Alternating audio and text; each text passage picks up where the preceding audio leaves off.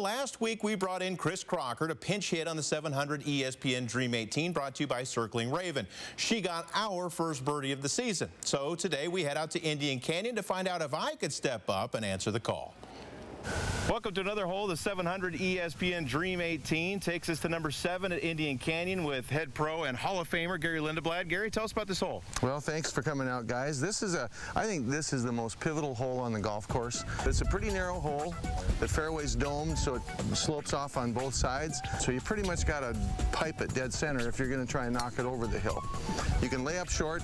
Fairway's a lot wider, but it's about a 75 or 80 yard longer shot into the green. Perfect. All right, nice drive. You got about 175 left. What are we going to do to play this to the green?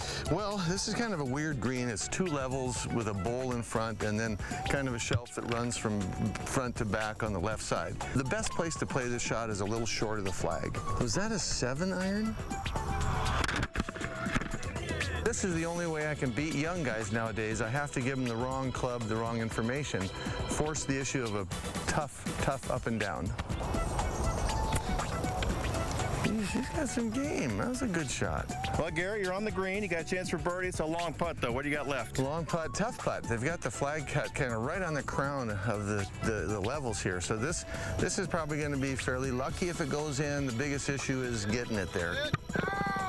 I guess you were lucky, huh? yeah, that's... Oh!